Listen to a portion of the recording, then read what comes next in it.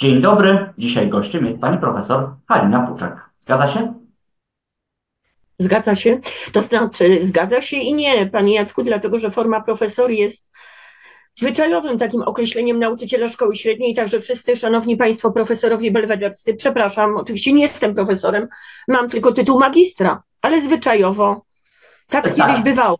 Tak, tak kiedyś bywało i tak zostało i tak przetrwało. To ja bym w takim razie pytał w ten sposób, bo pani uczy w liceum w Cieszynie. Jest to liceum imienia Antoniego Słuchowskiego i teraz jest dyskusja o lekturach, o tym kanonie, który ma pozostać. Czy pani ma jakieś pozycje książkowe, które warto byłoby wprowadzić, albo jakieś takie, które no, powinny gdzieś zejść na margines tego kanonu, tego, tej listy lektur, którą musimy przeczytać? Mhm. Panie Jacku, powiem szczerze, że y, całą listę takich książek, które jednak musiałyby wypaść z tego kanonu, mamy przede wszystkim, nie mówię teraz tylko o sobie, konsultowałam się również z najbliższymi koleżankami, y, z którymi pracuję od lat, a przede wszystkim już praktyka, y, piąty rok reformy wskazuje na to, że jednak chyba y, nie wzięto pod uwagę y, nowych czasów, tak naprawdę, bardzo różnych dziedzin, które mogą interesować młodych ludzi, że czytanie nie musi być jedyną pasją. I ktoś jednak nie wziął pod uwagę tego, że chyba z pewnych treści anachronicznych, takich zupełnie historyczno-literackich, należy zrezygnować. Ja wiem szczerze, przygotowałam sobie y, listę takich książek. Rozmawiałyśmy też o tym, tak wspomniałam przed momentem, z koleżankami. Y, nie wiem, czy wie pan, panie Jacku, ile wynosi obecnie punktów podstawa programowa z języka polskiego, jeżeli chodzi o lekturę obowiązkową. Tam są również nazwiska poetów i książki czytane we fragmentach. Czy pan zaglądał kiedyś do tego? Tak, oczywiście, że tak. Tym bardziej, że gdzieś tam ten etap szkoły średniej jest mi trochę też znany ale to jest bardzo dużo tytułów. Proszę podać dokładną liczbę. To jest. 49. Mhm, tak, właśnie około 50, tak. Mhm. Tak, I nawet było pani profesor mhm, tak y, gdzieś zmieniła, zepchnęła na margines. Może usunęłabym po prostu z kanonu lektur niektóre utwory tak w ogóle. Zastanawiam się nad y, istotą, oczywiście wiem, że jest to dzieło, wielkie dzieło światowe. Y, nie jestem przypadkowym niegdyś studentem polonistyki, wybierałam studia świadomie i właściwie było to moje marzenie od dzieciństwa, ale zastanawiam się na ile, y, tym bardziej, że oczywiście znam późniejszy program nauczania i jestem egzaminatorem maturalnym, na ile uczniowie obok takiej wiedzy encyklopedycznej, którą też yy, yy, uważam o niej, że też taką ludzie powinni mieć. Ale yy, Boska Komedia Dantego, mhm. Psalmy Kochanowskiego, przepraszam, wydaje mi się, że mogłoby być więcej pieśni Kochanowskiego. Są dwa psalmy Kochanowskiego w podręczniku i właściwie takie proste pytania, relacja człowieka z Bogiem. Jest to temat y, przewidziany mm, na jedną lekcję. Wydaje mi się, że może niekoniecznie prawda, że jednak uczniowie też uczęszczają większości na katechezę, czy też świadomy nauczyciel mógłby omawiając Kochanowskiego e, wspomnieć o tłumaczeniu psalmów, a właściwie nawet o tym, że psalmy są albo wybitnym tłumaczeniem, albo arcydziełem samym sobie. E, zastanawiam się, powiem szczerze, nad tytułem Romeo i Julia. Jest to książka jednak bardzo długa. Mm, myślę o tym w ten sposób. W klasie pierwszej jest też Macbeth i Macbeta oczywiście zostawiłabym, natomiast być może Romeo i Julia nie w całości, może tylko fragmenty. Zastąpiłabym, oczywiście jest to moje zdanie, skąpca świętoszkiem. Byłoby więcej do powiedzenia. Tak mi się wydaje, że młody człowiek y, mógłby wtedy charakteryzować y, bohatera, nie tylko głównego, tytułowego świętoszka, ale y, byłoby na pewno więcej do powiedzenia niż w kontekście skąpca. Y, poza tym inne kwestie. Konrad Wallenro, czy w całości? Uwielbiam Mickiewicza, uwielbiam y, omawiać epokę romantyzmu, ale też wydaje mi się, obserwując od pięciu lat problemy uczniów, mm, że być może tylko fragment. Nieboska komedia, ewidentnie poziom rozszerzony. Chłopi tom pierwszy.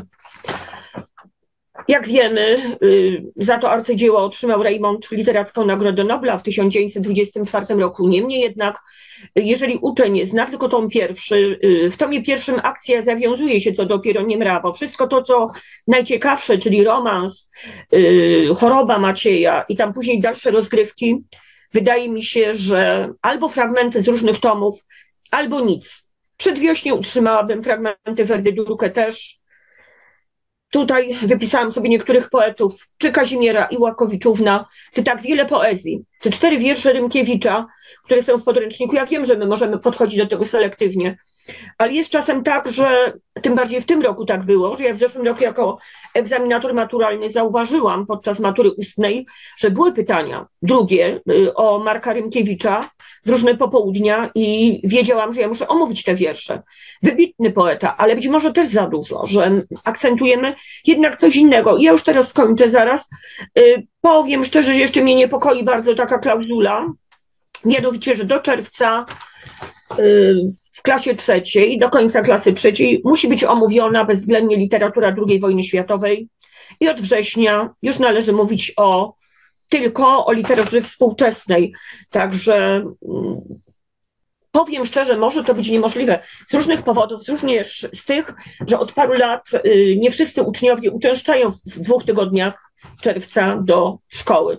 Myślą już bardziej o wakacjach. To tyle z mojej strony. Jeszcze mhm. przerażające dwa tytuły, y, to znaczy, przepraszam bardzo, nie tytuły przerażające, ale objętość książek Madame Libery, świetna książka, y, której w tym momencie ten rocznik i poprzedni rocznik nie musiał te roczniki czytać owej książki ze względu na długość nauki zdalnej i jeszcze droga do Nikąd Mackiewicza y, we fragmentach. To tyle z mojej strony. Wydaje mi się, że y, ten, kto jest władny, pochyli się nad różnymi kwestiami i wyciągnie właściwe wnioski. Mhm, dziękuję za ten komentarz w tej sprawie. No, są trudności, to trzeba przyznać, y, ale też są sukcesy, bo myślę, że są też uczniowie, którzy chcą czytać. Czy jak to wygląda? Czy to się zawsze tak musi nam w negatywnych jakichś barwach rysować? Nie, w negatywnych nie, jakkolwiek y, jestem realistką y, i tutaj pozwolę sobie zacytować, być może to będzie jakimś bluźnierstwem, ale bardzo podobają mi się słowa Szymborskiej, które wypowiedziała y, podczas otrzymywania nagrody honoris causa, nie pamiętam, czy na Uniwersytecie Wrocławskim przed laty. Ja to przeczytałam w formie pisanej. Nie słyszałam tego oczywiście. W każdym razie, że mnie niepokoi jej taki stan nieczytania, że wciąż liczy na to, że na świecie są ludzie z niezatraconą umiejętnością czytania, którzy nie podlegli tak zwanym technicznym mutacjom. Bardzo spodobało mi się to określenie. Ja czasem żartuję właśnie z uczniami, którzy tylko są zagłębieni w smartfony. Oczywiście nie na lekcji, staram się pilnować tego, żeby tak nie było, ale y, mówię o tych technicznych mutacjach. Są oczywiście ludzie, którzy czytają, są ludzie w klasach humanistycznych, którzy też potrafią przeczytać y, jeszcze dodatkowo 27 książek, oczywiście przy odpowiednio większej y, liczbie lekcji. Ja tych ludzi też znam, bardzo im dziękuję. Y, znam ludzi i dobrze pamiętam, za co też dziękuję, nie wiem, Bogu czy, czy naturze, że mam wciąż jeszcze bardzo dobrą pamięć i pamiętam ludzi, którzy naprawdę przyczynili się do tego, że moja praca była po prostu przyjemna.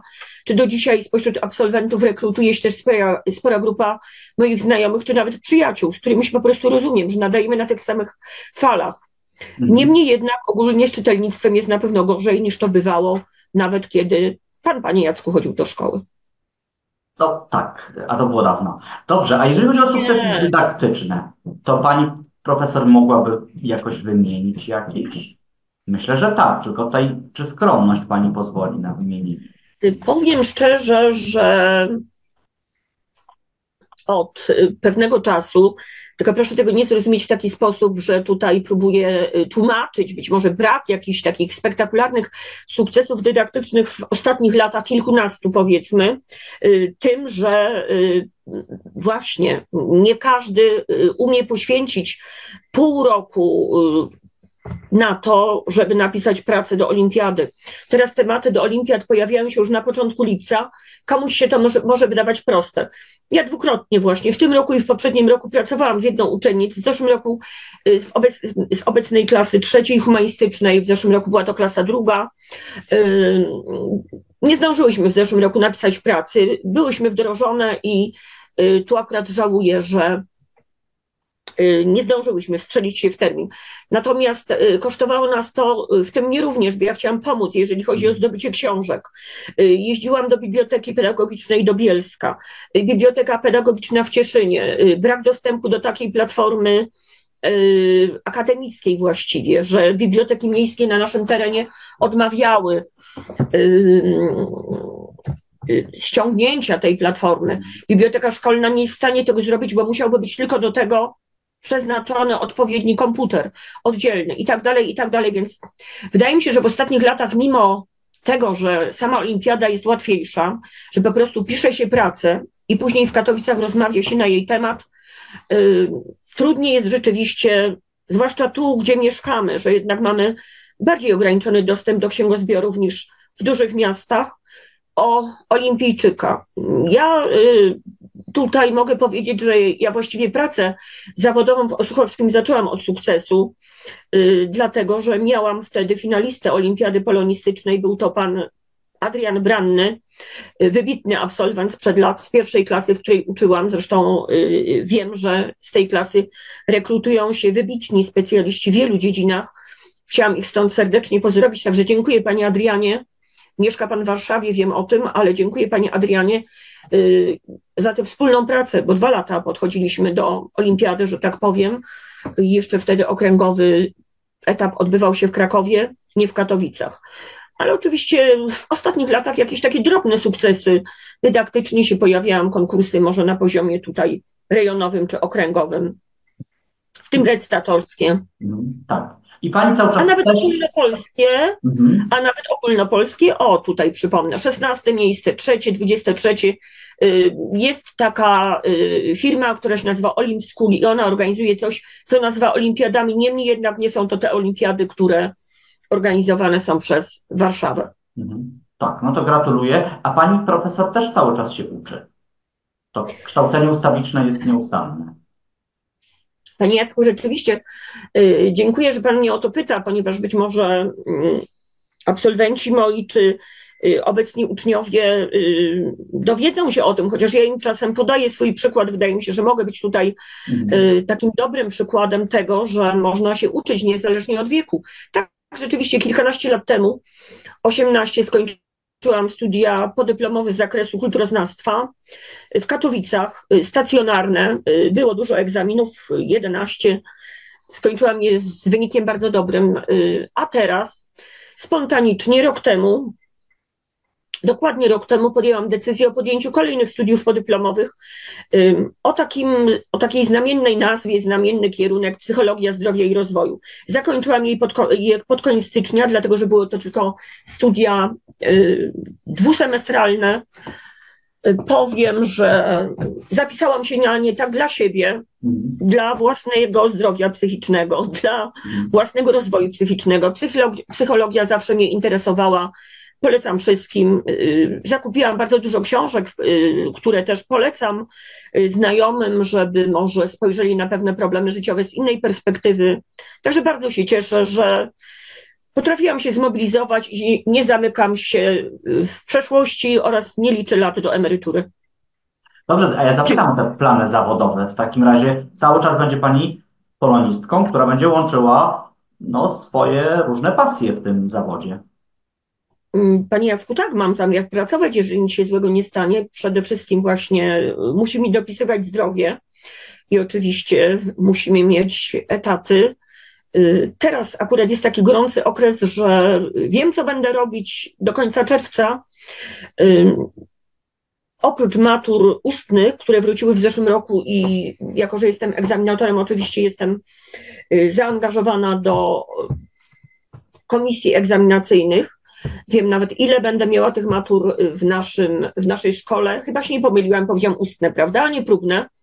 Y, po roku przerwy y, zalogowałam się znowu do komisji egzaminacyjnej w Jaworznie jako egzaminator, a nawet będę pełnić w komisji cieszyńskiej rolę drugiego egzaminatora, tak zwanego weryfikatora, także tak Mhm. wyglądają moje najbliższe plany zawodowe. Są ściśle związane oczywiście z pracą w szkole. Tak, intensywne, jak zwykle zresztą, jak panią profesor kojarzę z Tak wymaga to rzeczywiście bardzo wiele siły fizycznej, dlatego że przez dwa tygodnie pracujemy wtedy przez siedem dni w tygodniu. To życzę dużo zdrowia, dużo siły i wytrwałości w tym przekazywaniu wiedzy o literaturze, kulturze i języku. Naszym gościem była pani. Halina Puczek. Bardzo dziękuję za rozmowę. Dziękuję bardzo, pozdrawiam wszystkich. Chcę skorzystać z tej okazji. Pozdrawiam y, wszystkich ludzi związanych z oświatą współcześnie, wszystkim maturzystom z wszystkich różnych szkół życzę zdania matury. Y, Pozdrawiam wszystkich swoich absolwentów, całą społeczność Osłucha i pozdrawiam swoje starsze siostry. Dziękuję bardzo. Dziękuję Do bardzo. widzenia. Do widzenia. Do widzenia. Zapraszamy do Osłucha.